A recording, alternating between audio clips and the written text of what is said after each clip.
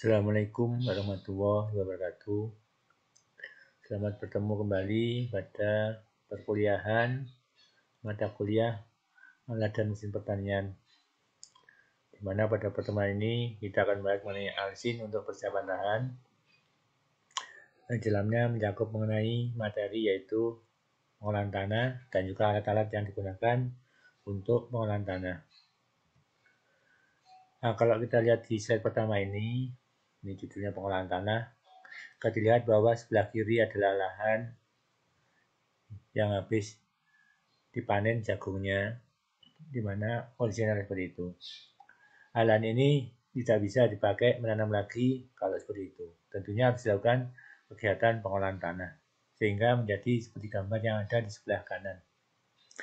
Gambar sebelah kanan adalah contoh pengolahan tanah yang bagus ya. Kenapa? Karena dari permukaannya kelihatan rata. Walaupun ada beberapa ukuran tanahnya mungkin masih kurang halus karena mungkin pengolahannya masih perlu diulang lagi untuk pengolahan tanah yang berikutnya. Nah, harapannya dengan tanah yang seperti itu maka bisa ditanami eh, biji ya, benih bisa tumbuh. Nah, secara umum tujuan pengolahan tanah itu ada yang mengatakan bahwa pengolahan tanah adalah dimaksudkan sebagai penggunaan tenaga mekanis yang bertujuan untuk menciptakan kondisi optimal untuk pertumbuhan tanaman. Jadi bagaimana menciptakan kondisi optimal untuk pertumbuhan tanaman adalah melalui pengolahan tanah. Terus yang kedua adalah menciptakan kondisi tanah yang paling sesuai untuk pertumbuhan tanaman dengan usaha yang seminimum mungkin. Jadi bagaimana membuat tanah yang sesuai tapi usahanya minimal. Jadi nggak nggak banyak tenaga yang terbuang di situ. Jadi nggak habis di situ tapi hasilnya adalah bagus. Jadi itu yang dimaksudkan secara umum pengelolaan tanah itu. Sedangkan tujuan khususnya itu ada beberapa. Di sini ada lima ya saya salin dari beberapa buku. Yang pertama adalah menciptakan struktur tanah yang dibutuhkan untuk persemaian atau tum tempat tumbuh benih. Tanah yang padat diolah sampai menjadi gembur sehingga mempercepat infiltrasi air. Berkemampuan baik menahan curah hujan, memperbaiki aerasi, dan memudahkan perkembangan akar. Nah itulah yang kita inginkan. Jadi bagaimana tanah yang kita olah tadi itu akan menjadi tempat yang bagus untuk tempat tumbuhnya benih. Jadi kalau tanahnya ukurannya halus, tidak campur bongkahan-bongkahan tentunya akan bagus tumbuhannya. Terus juga tanah yang tidak padat ya, padat juga menjadi gembur. Jadi kalau padat tentunya akar akan susah menembus ke tanah. Nah, dengan tanah yang gembur tadi, maka infiltrasi air akan lebih mudah. Jadi air mudah meresap ke tanah. Terus mempunyai kemampuan yaitu yang baik dalam hal menahan curah air hujan memperbaiki aerasi. Aerasi itu adalah berkaitan dengan udara ya, sirkulasi udara dan juga memudahkan perkembangan akar. Jadi dengan kondisi yang bagus tadi, yang gembur, maka akar akan mudah menembus ke dalam tanah. Untuk tujuan yang kedua, yaitu peningkatan kecepatan infiltrasi yang akan menyebabkan penurunan runoff. Dengan demikian akan menyebab apa mengurangi bahaya erosi. Jadi kalau misalnya tadi tanahnya adalah gembur, maka air yang melewati di permukaan dia akan meresap ke bawah sehingga akan mengurangi bahaya terjadinya erosi. Terus yang ketiga yaitu menghambat atau mematikan tumbuhan pengganggu tumbuhan pengganggu biasanya disebut dengan gulma ya. Jadi yang tumbuhan yang tidak kita inginkan itu namanya gulma. Itu kita matikan atau kita hambat pertumbuhannya. Terus yang keempat adalah membenamkan tumbuh-tumbuhan atau sampah-sampah yang ada di atas tanah tadi di dalam tanah sehingga menambah kesuburan tanah. Artinya tumbuhan-tumbuhan yang nggak berguna tadi diharapkan membusuk di tanah dan menjadi bahan organik yang dapat menambah kesuburan tanah. Terus juga tujuan lain dari pengolahan tanah ini adalah membunuh serangga, larva, atau telur-telur serangga melalui perubahan tempat tinggal dan terik matahari. Jadi kalau misalnya di daerah situ, di tanah situ, bekas tanaman mungkin ada misalnya sarangnya serangga yang merugikan, misalnya belalang, atau yang lainnya yang akan merugikan, maka dengan diolah tanah itu, maka diharapkan menjadi rusak dan menjadi mati, sehingga tidak mengganggu pertumbuhan dari tanaman yang kita budidayakan.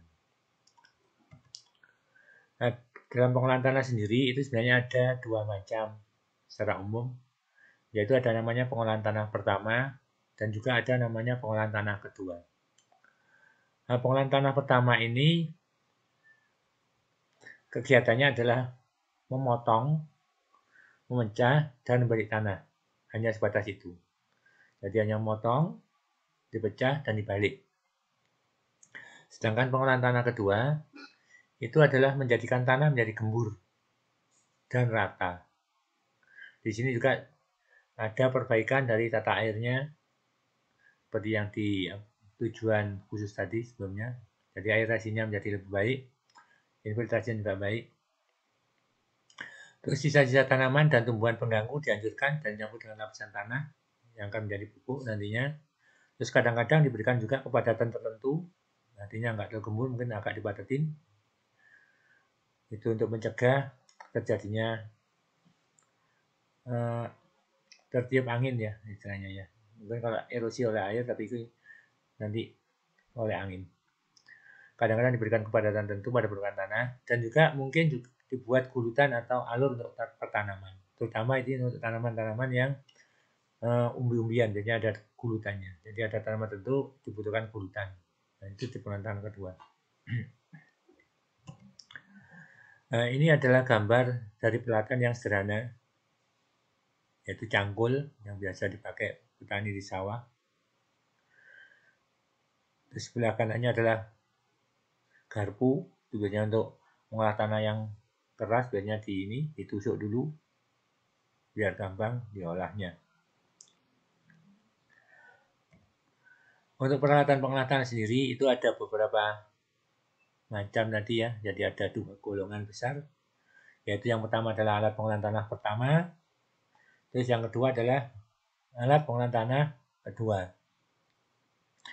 Alat pengolahan tanah pertama ini Eh, di sini ada enam macam. Enam yaitu bajak singkal biasanya disebut dengan mulbot flow. Terus ada juga bajak piring itu ada disc flow. Ada bajak pisau berputar atau rotary flow. Ada bajak diesel diesel flow. Ada bajak subsoil subsoil flow. Ada juga bajak raksasa giant flow. Jadi itu secara umum ada itu ada enam. Sedangkan alat pengolahan tanah kedua itu adalah Garu Hero, ada Land Rover dan Pulverizer. Jadi itu untuk alat pengolahan tanah kedua. Nah, pada pertemuan kali ini kita akan bahas dulu yaitu mengenai bajak singkal atau mulbot flow. Nah, bajak ini digunakan untuk bermacam-macam jenis tanah dan sangat baik untuk baik tanah Kenapa sangat baik hasilnya? Karena karena di sini ada bagian namanya mulbot, yaitu yang sayap yang melengkung itu. Nah, bagian dari bajak singkal yang memotong dan memberi tanah disebut bottom. Suatu bajak dapat terjadi satu bottom atau lebih. Nah, itu tergantung dari tenaga penariknya. Jadi kalau misalnya bajak yang ditarik oleh traktor tangan, itu biasanya satu. Tapi kalau ditarik oleh traktor besar, itu bisa lebih dari satu ada yang tiga tiga bottom ada yang tujuh ada sembilan ada yang dua belas ya tergantung dari tenaga penariknya nah bottom sendiri itu dibangun dari bagian-bagian utama yaitu singkal terus pisau dan juga penahan samping Nah, ketiga bagian tersebut diikat pada bagian yang disebut dengan penyatu atau blok. Unit ini dihubungkan dengan rangka atau frame melalui batang menarik beam. Nah, kalau kita lihat gambar yang di sebelah kanan, ini ada yang bagian ini namanya lens sight.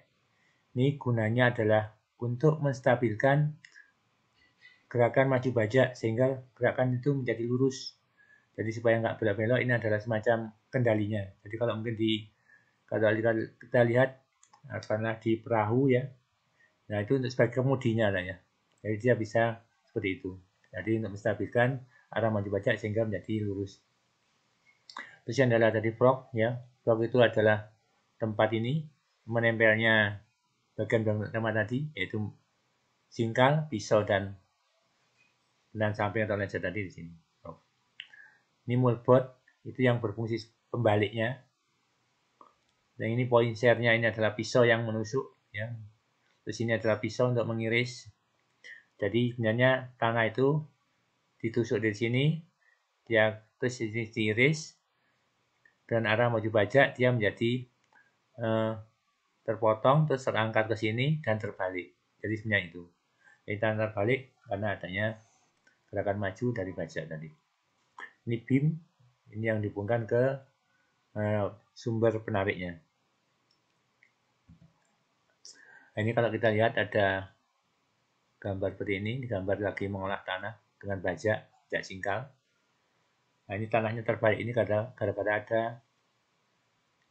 uh, mulbot ini singkalnya. Nah ini bisa ditambahkan juga untuk mencegah lemparan yang jauh bisa ditambahkan juga di sini.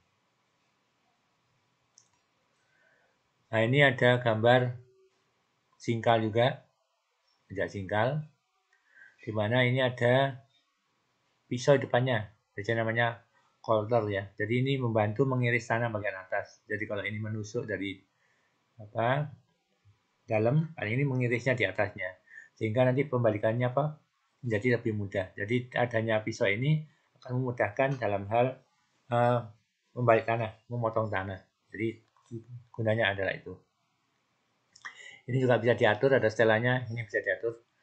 Atur kedalaman ya, menusuknya berapa itu bisa diatur dari sini juga. Di setel.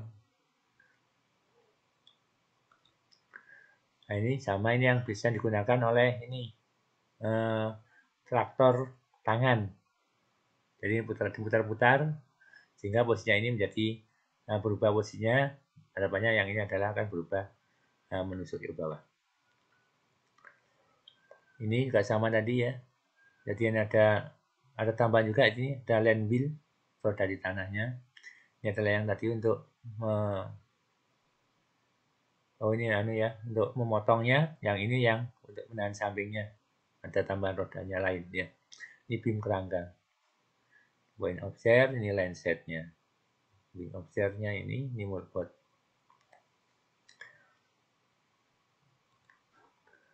Terus ada lagi yaitu baca singkal yang terdiri dari beberapa bottom seperti yang sebelah kiri ini.